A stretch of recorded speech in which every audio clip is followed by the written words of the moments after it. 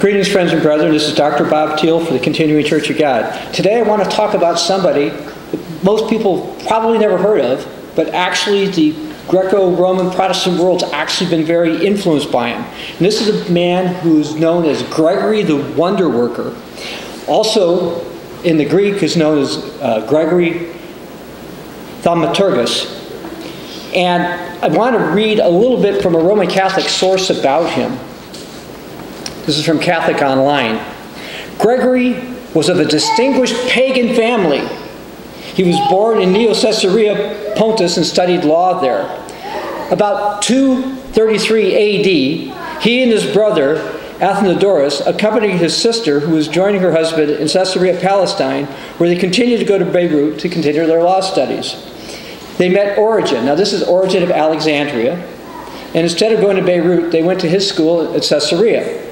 He studied theology, and he was converted to Christianity supposedly by Origen, became one of his disciples. And it soon became apparent that he was gifted with remarkable powers. So we've got somebody who supposedly has remarkable powers. Now, before going into some of those powers and what he ended up doing, I'd like to explain a few things, some prophecies from the Bible warning about something if you've got a Bible, you might want to follow along. I'm going to go to Isaiah chapter 47, and I'm going to uh, start a little bit in verse 1. This is a warning. Isaiah 47, verse 1. Come down and sit in the dust, O virgin daughter of Babylon. So, this is a prophecy of somebody who's called a virgin, but it's talking about the daughter of Babylon. This isn't ancient Babylon. This is actually a reference to Mystery Babylon, which we read about in the book of Revelation, chapter 17. Now, in verse 5, we see that this lady, this woman, is called the Lady of the Kingdoms, which interestingly is a word or a term that some apparitions of Mary have used or been called, or Mary, uh, the Catholic version of Mary, sometimes has been called the, uh, the Lady of the Kingdoms. Now, let's go down to verse 7. See what this, some of these things this lady says. And you said, I shall be a lady forever. So that you not take these things to heart, nor remember the latter end of them.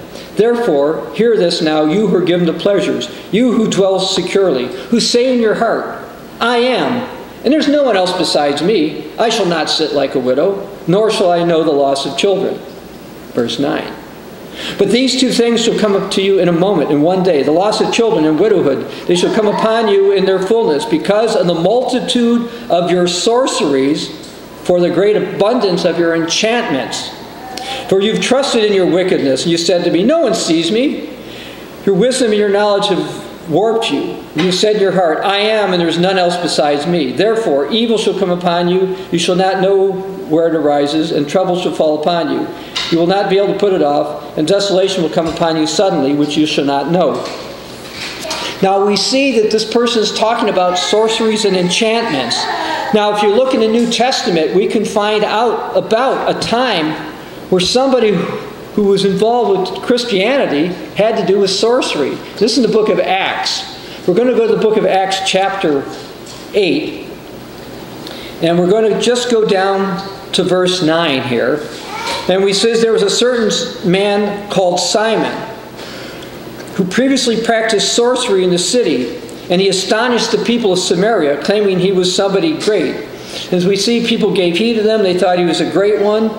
He actually became baptized by one of the apostles, Philip, either the apostle or the evangelist Philip.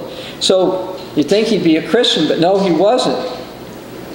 He saw that the uh, when the disciples laid put hands on people, down in verse 17, they received the Holy Spirit. And now Simon sees this. So in verse 18, we see that when he put his hands uh, on there to, to get the Holy Spirit, he offered them money to get this. And Peter said to him, No, your money perished because of this. You, you don't have it right. You're bitter. You're the wrong type of person. Well, we find out later throughout history, according to uh, Irenaeus, he wrote that Simon ended up uh, working with a prostitute called Helena, who he said was the mother of all. And then he got people to worship both him and Helena. And so we see something beginning back then. Now, the Apostle Paul warned about something back then, and I'm going to tie this in with Gregory Thaumaturgus and Thaumaturgus in just a moment here. Let's go to 2 Thessalonians chapter 2, starting in verse uh, 9. So the coming of the lawless one is according to the working of Satan with all power, signs, and lying wonders, and with all unrighteous deception among those who perish because they've not received the love of the truth that they might be saved. And for this reason, God will send them strong delusion that they should believe the lie, that they may all be condemned who did not believe the truth but had pleasure in unrighteousness. Now, why do I mention any of this? So we see that the Apostle Paul said, starting from his time, there were people involved with signs and lying wonders and lawlessness. And we saw the warning in Isaiah about this type of thing. Now, around 238 to 244, Gregory of uh, Neo Caesarea, again known as Gregory Thaumaturgus, he actually claimed to see an apparition of Mary now, some people think he's not the first one, but actually, that the first one had to do with something called the Proto Evangelicum of James. But other Catholic scholars say no, he's the first one to supposedly see an apparition that claimed to be Mary from Jesus' mother. Now, this wasn't truly Jesus' mother, Mary. Let me read something that uh, Robertson Donaldson reported about this Gregory, the wonder worker. Quote, he was believed to be gifted with the power of working miracles, which he was exceedingly exercising. Now, if you hear about miracles, oh, this sounds like he's probably a good guy. But notice this the demons were subject to him. He could cast his cloak over a man and cause his death. Now, this is not a Christian man. This is not a pastor of God going around taking his cloak and throwing it on people to get them to die. But Gregory did this. Furthermore, he could bring the presiding demons back to their shrine. His power over demons and other wonders apparently were accepted by many, and he had a lot of influence. Basically, because of his influence as well as imperial persecutions, he basically drove the Church of God in Asia Minor into uh, into uh, semi-exile, and from that time, from his time forward, the true church was no longer dominant in the area of Asia Minor, which is where he was from. Now I'm going to hold up this book for a moment. We have a booklet called The Continuing History of the Church of God, which you can find at the www.ccog.org website. That's www.ccog.org website. Go under books and booklets so that you can find this, because you're going to find a lot of things about church history that a lot of people do not know or do not understand.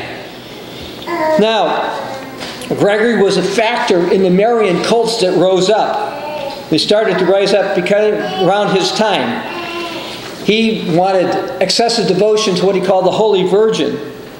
And he included blasphemously teaching that Mary blotted out Eve's transgressions. He was probably the earliest one, if not one of the earliest ones, if not the earliest one, to actually use the expression Holy Trinity. And while people think, well, that was good because a lot of Trinitarians believe that, actually, there were almost no Trinitarians in the third century, which is the time of Gregory. It took a while into the early fourth century, probably only 10%, at the most 15% of the Greco Roman bishops actually were Trinitarian up to that point. And it was said that Gregory said, Here's the mystery the Holy Trinity was revealed by the archangel to the Holy Virgin according to the Gospel. So Gregory is claiming that the Trinity came from an archangel to Mary to him. He also said that the, what was uh, the soul is simple. What is simple is immortal. Well, up until that time, most of the Greco Romans didn't believe in the immortality of the soul. It was considered to be a pagan concept. But they got this from Gregory the Wonder Worker. Now, in 1 Timothy chapter 4, starting in verse 1, we see a warning from the Apostle Paul. 1 Timothy 4, starting in verse 1.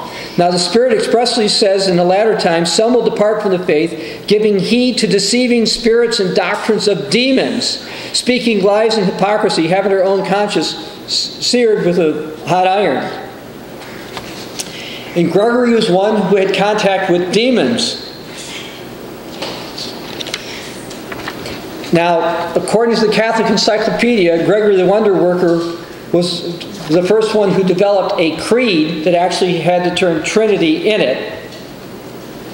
Now, what's interesting about this, to me at least, according to Catholic Encyclopedia, here's a quote after they talked about his creed quote, It is manifest that a dogma so mysterious presupposes a divine revelation.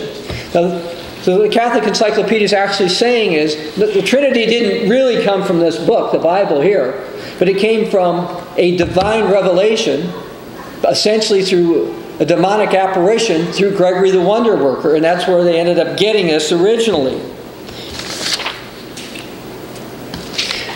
Now I'd like to go to uh, uh, 2 John chapter 7. Now, one of the things that Gregory said in his uh, creed is that the Father has never been without the Son, nor the Son without the Spirit, and the same Trinity is immutable and unalterable forever. Well, if the Father was never without the Son, then Jesus never died for us. Because if Jesus uh, truly died, the Father and the Son would have been separated for that period of time. But no, Gregory taught the opposite of that. And this is why I told you to go to, or asked you to go to 2 John chapter 7, start, excuse me, 2 John verse 7, starting verse 7. For many deceivers have gone out in the world and did not confess Jesus Christ as coming in the flesh. This is a deceiver and an antichrist. Look to yourselves that we do not lose those things we work for, but we receive our full reward. Whoever transgresses and does not abide in the doctrine of Christ does not have God. He who abides in the doctrines of Christ has both the Father and the Son. If anyone comes to you and does not bring this doctrine, do not receive him into your house nor greet him. For he who greets him shares his evil deeds. Well, people should stay away from Gregory's deceptive doctrine of Antichrist. As far as the Trinity goes, by the way, the first two people who supposedly brought it, who attempted to bring it into the Greco Roman world were uh, Valentinus, who came from Egypt, and Montanus, who came from Pontus. And both of them were denounced by Church of God leaders such as Polycarp of Smyrna, Serapion of Antioch, and, and others denounced the people who brought in the Trinity. And interestingly, even the Church of Rome finally, after putting up with them for decades, put out Marci, excuse me, Montanus and Valentinus as, as heretics. Now, Gregory, the wonder worker, also wrote this related to, Mary, to his ver version of Mary. O Holy Virgin, she's the ever blooming paradise of incorruptibility, wherein is planted the tree that gives life, that furnishes all fruits of immortality. The Holy Virgin, while still in the flesh, maintained the incorruptible life. The Holy Virgin has surpassed even the perfection of the patriarchs. But we should go to the book of Hebrews because we do not find the Bible teaching that Mary was perfect without sin. But Gregory the Wonder Worker basically laid the foundation for this. Hebrews 4, starting verse 14, we see Seeing that we have a great high priest who's passed through the heavens, Jesus, the Son of God, let us hold fast our confession. For we do not have a high priest who cannot sympathize with our weaknesses, but was in all points tempted as we are, yet without sin. Let us therefore come boldly to this throne of grace that we may obtain mercy and find grace to help in the time of need. Now we're supposed to go to Jesus. The Bible doesn't say to go to Mary in our time of need. In the book of Romans, chapter 3, verse 23, you don't have to go there, but it says, All have sinned and fallen short of the glory of God. And that means that Mary is not superior to other Christians. Stating or implying otherwise is in biblical error. And by the way, if you happen to be Roman Catholic and you're watching this, let me read something from the Fundamentals of Catholic Dogma. Quote, the doctrine of the Immaculate Conception of Mary is not explicitly revealed in Scripture. Neither the Greek nor Latin fathers explicitly teach the Immaculate Conception of Mary, but it basically developed from Gregory the Wonder Worker. Now, here's something else he wrote. All who worthily observe the festival, the Annunciation of the Virgin Mary, the Mother of God, acquire as their meat or their reward recompense of fully interested message. Hail, you who are highly favored. Let's keep your feast with psalms, with hymns, and spiritual songs. Israel kept their festival, but it was with unleavened bread and bitter herbs. But the prophet says he's going to turn those fleece into affliction and lamentation. But our afflictions, the Lord has assured us he'll return into joy by the fruits of penitence. What this means is, Gregory was saying, don't keep the biblical holy days, instead keep a holiday to Mary. And Gregory was influential in getting the Church of Rome in order to do that. Now, here's something the Catholic Encyclopedia wrote about him. Gregory of Neo Caesarea holds a very prominent place to attract people to the festivals and honors of the martyrs. We learn that Gregory organized profane amusements as an attraction for the pagans who could not understand a ceremony without some pleasures of a less serious nature. So basically, what they're saying is in the third century, Gregory came up with feasts for pagans that they'd like so they become part of their church. And it's not just in the Catholic Encyclopedia get this. We get this. There, Cardinal John Henry Newman in the late Uh, 19th century wrote that to use the very appendages of demon worship for evangelical use, the rulers of the church from the earliest times did this. And then who's he started off with? St. Gregory Thaumaturgus supplies us the first instance of this economy. And he goes through this in more detail. Basically, that Gregory was the one that said, hey, let's use paganism to get people to become part of our church.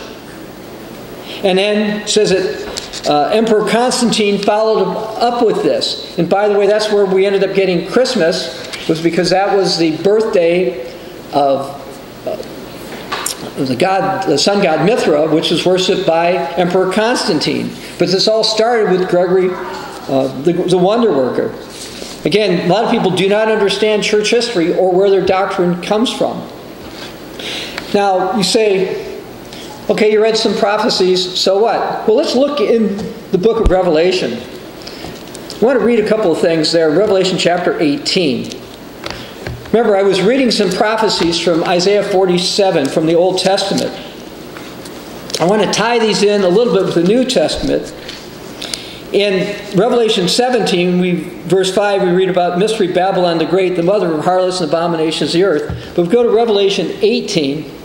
I want to read starting in verse uh, 7 here. In the measure that she glorified herself, she lived luxuriously. In the same measure, give her torment and sorrow. This again is tying to what we read about in Isaiah 47. For she says in her heart, I says the queen, I am no widow, and I see no sorrow. Therefore, her plagues will come to her in one day death and mourning and famine, and she'll be utterly burned with fire. For strong is the Lord who judges her. Again, this ties in with the prophecy in Isaiah 47. There are prophecies that sorceries would be used to deceive people, and people would be deceived. And in terms of uh, sorceries, we can also go down to verse uh, 23 of, of Revelation 18 says, The light of a lamp shall not shine in you, to talk about Mystery Babylon, anymore, and the voice of the bridegroom and the bride shall not be heard in you anymore. For your merchants were the great men of the earth, for by your sorcery all the nations were deceived.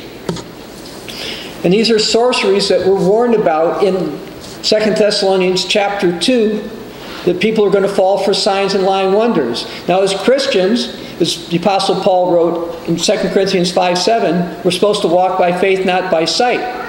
But Paul was warning us in 2 Thessalonians that most would be deceived in the end times because of signs and lying wonders.